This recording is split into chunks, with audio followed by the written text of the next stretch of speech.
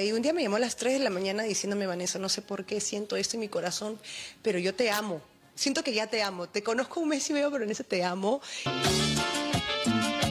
Así que para bien las orejas, Gaby, porque no solo esa entrada del domingo del partido Cienciano Cantolao era para la modelo, sino que el pasaje a Cusco, el que segurito ya te ofreció, también se lo había separado Vanessa.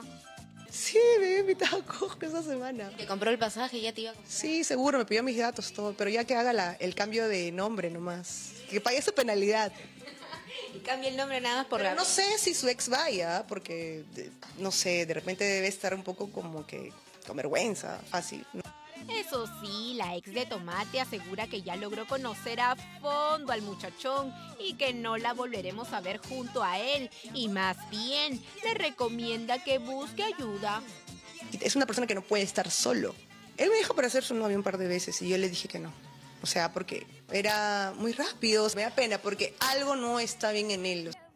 Ay, ay, ay. Lo bueno, Vanessa, es que te diste cuenta a tiempo y, y pasaste la página en One. O eso dices. Así que hazla de Carol G, que por los hombres no se compite. Y menos por el bravazo de esa, pues.